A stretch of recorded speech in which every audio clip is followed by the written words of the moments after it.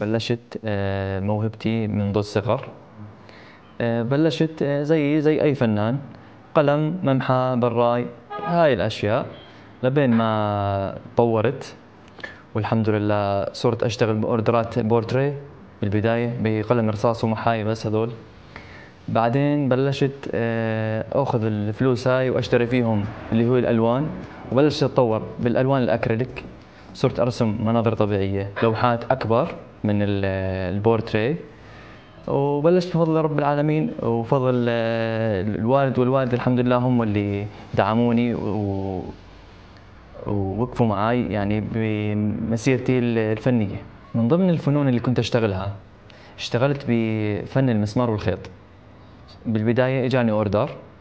آه، طبعا أنا ما عندي أي خلفية بهذا الموضوع.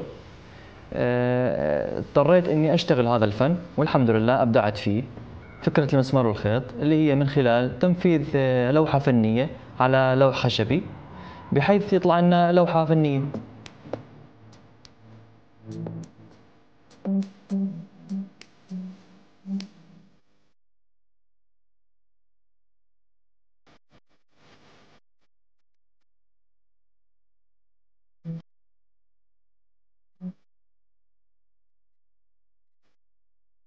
أنا بنصح أي شخص عنده موهبة بالأخص موهبة الرسم إنه آه، يعمل فيها ويطورها.